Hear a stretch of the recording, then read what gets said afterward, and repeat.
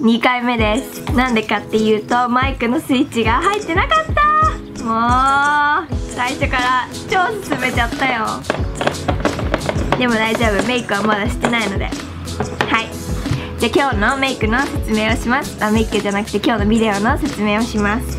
今日はもうさっき一緒にみんなで開けたのに。これ。メイベリンのこの新しく出たマスカラとコントゥアーのスティッククリームスティックが気になってたのでこの2つを使ってメイクをしたいと思います。それを買ってる時にこのなんだっけアイシャドウをちょっと試してみたらよかったのでこれも一緒に買ったから今日は主にメイベリのものを使ってメイクしていきたいと思います。これね。えっと家にあるものメイベリのもので何かあるかなと思ったけど今のところ私がお気に入りのこのこれしかなくてファンデーション系がちょっとないカバーができないので今回はこれを使います。肌には。それでなんだっけ？もう2回目だよ。さっき撮ってたのに。まあいいや。やっていこう。で今私肌に何もつけてなくてえっと化粧水も何もつけてないのでそういうのもいろいろ説明しながら今日は撮っていこうと思います。それでそう。見て。どうしたの？どうした？くるくるして。くるくる。くるくる。そう。今日ねこれが届いた。マックの新しく出た。プレストピグメントザ・ネイキッドタイムという名前の。アイカラー。そう。アイシャドウです。これ。これが新しく出たので届きました。ちょっとつけてみる。さっきねつけたんだけど見えるかな？若干見える。ここ。ここ。ら辺こうどうした？どうした？そうそれであのー、私が知ってる中でコントワーのこのクリームってセザンヌから出てると思うんだけどこうやってブロンザーとハイライトが一緒になってるもの今まで見たことがなかったのね。だからどうなんだろうと思って。でこっちのウェッテンワイルドの方ではこういう風に同じのが出てるんだけどこれはねハイライトの方がねなんかダマになっちゃうし伸びがすごい悪かったの。だから全然使ってなかったんだけどこれはどうかなと思って楽しみです。使ってみます。じゃーん。こんな感じで口紅みたいになってる。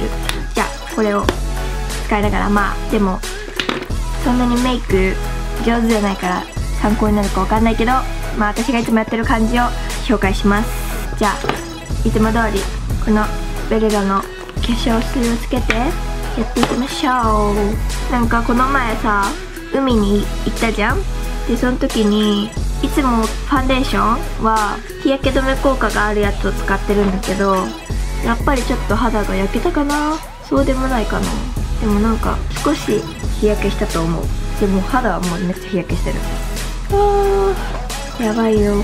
はい。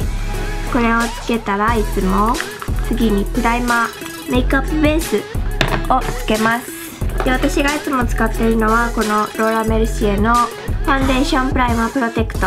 SPF は30です。でこれを使ってメイクアップのベース作ります。でなんかこれ多分知ってるよねみんな。多分そうこれニベアのめっちゃ黙った。ニベアの 男性のやつなんだけどこれを化粧する前にしたりするとすごいいいってねみんなが言ってる海外の YouTuber の人とかが言っててで買ってみて使ってみたけど、うん、なんかいいっちゃいいけどやっぱりちゃんとしたやつ私は使いたいなと思って戻ったこっちに。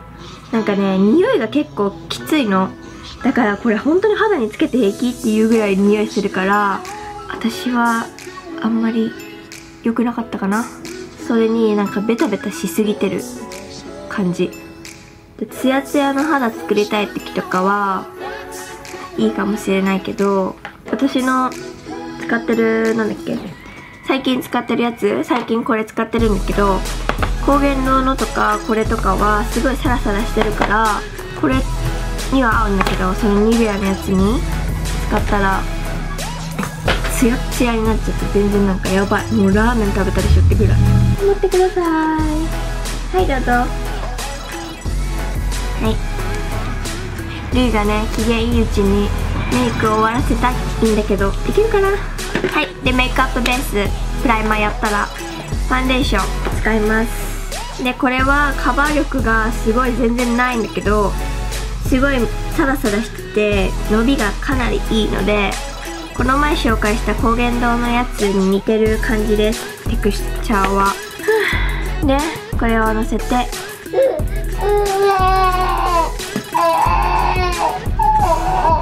お話ししてるね。そうそれでね今日はお話ししながらメイクする感じにしたのはいろいろみんなに話したいことがたくさんあってまず1つ目は一昨日ぐらいにルイが初めて熱を出したの。そう。それでもうすっごい不安だった。もうね私のママとかあれ兄弟私3人兄弟なんだけど普通にみんなね兄弟が熱出したりしたらもう朝までずっとそばにいてくれるの。でななんか別にそんなに心配することじゃないんじゃないって正直思ってたのね。もちろん私が熱出した時も毎回そばにいてくれたんだけどでもレイが熱出したらもう全く同じ気持ちになった。もうね心配で寝られない。すごい熱が上がったんだよ。で赤ちゃんってもともと熱がさ高めじゃん割と。だけどもうすごいかわいそうでグタってしちゃってて。で病院に行ったんだけどどうぞ。病院に行ったんだけどこの時期によくあるそういう病気じゃないけどまあそういう症状だよって言われてね薬をもらったんだけどその日の夕方にまた熱出るかなと思って。また心配だったんだけど熱が出なくて今日も元気で熱もないから冷え熱だったのかなって思った。けどどうなんだろう。なんかまた熱出ちゃったりしたらかわいそうだな。もう本当に辛そうだった。でそんなことを言ってる間に肌私いつも通りファンデーション塗り終わりました。そしてこれを使ってみましょう。でこれのパッケージに使い方が書いてあります。でも大体これの使い方は私わかるのでなんとなく。私なりにちょっとやってみます。じゃあこっちのブロンザーの方をこの影にしたいところにのせていきます。超ドキドキするこういうの。で二重顎がやばいから顎のところをもっとシャープに見せたい。まあここら辺はねそんなに見えるところじゃないから。で鼻にやりたいんだけど鼻ねちょっとうまくいけいく気がしないからいつもやってないの。あのブラシの細いので やってるんだけどだから鼻はちょっとやらない。あと唇の下にやって唇がちょっとぷっくらしてる風に見せてます。でさっき使ったビューティーブレンダーでブレンドしていきます。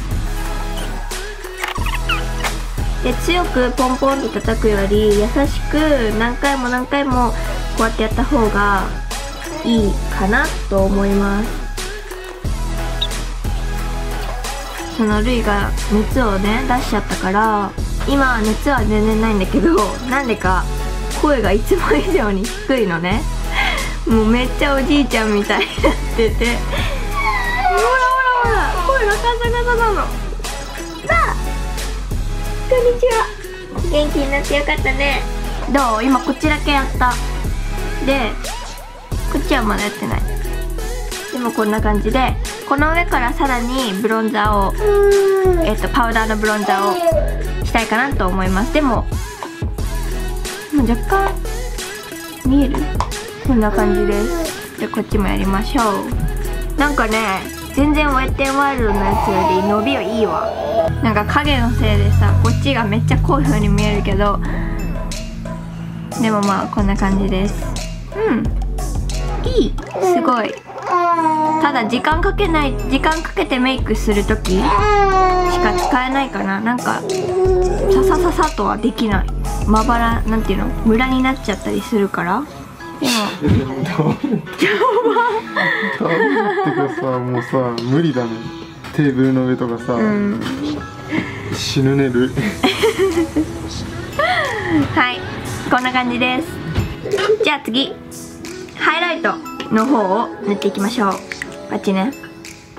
でこれは凹凸なんか綺麗に光らせたいところとか出て見えるところ出てる風に見えた見せたいところにやります。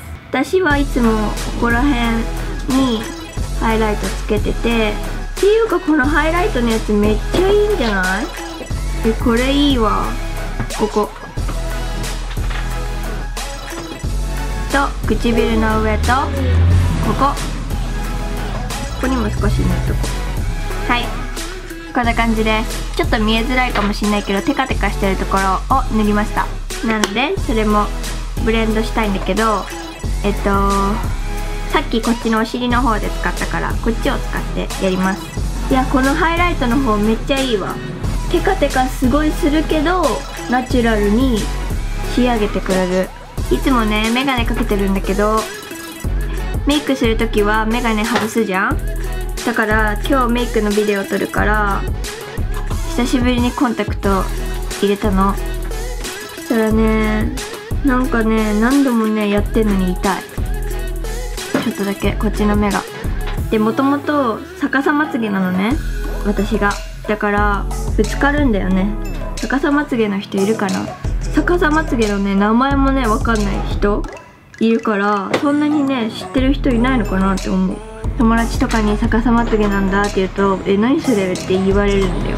直したいんだけど手術しないといけなくて普通に目でこうやって見えるから怖いじゃん。しかもなんかちょっと顔が変わりそうじゃない？だってさこの下まつげが逆さになってて中に入ってるからここをちょっと切ってこうやってやるでしょ？そしたら絶対目変わるよねとか勝手に思ってやんない。はい。見えますか？ご覧になってないかな？でもこんな感じです。いい。めっちゃいい。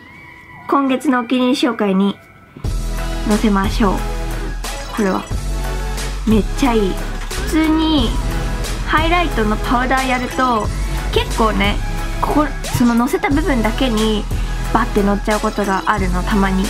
でもこれはリキッドっていうかクリームタイプだから伸びるしいいわ。そんなにわからないね。遠くの方がわかる？あ遠くの方がわかる。ここです。はい。じゃあここからはささっとメイクしていきましょう